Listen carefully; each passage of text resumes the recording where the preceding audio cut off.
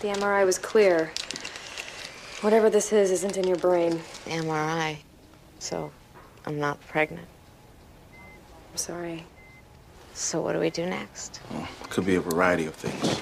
Some treatable, others more serious. Open up. I'm gonna run a genetic test for Huntington's. That one of the more serious ones? Yeah. It's also possible that this is just a symptom of the fertility treatments. And now that we know you're not pregnant, we're going to start you on tamoxifen to counteract the estrogen. Will that undo all the fertility treatments? For the time being, yeah, but it could cure you. You can start trying again once we get you healthy. Damn it! The spasms are going to get worse now that the vecuronium's wearing off. What are you so scared of? I'm still your mother. I'm just a little sick. Why did you even bring her here? I told you to leave her at home.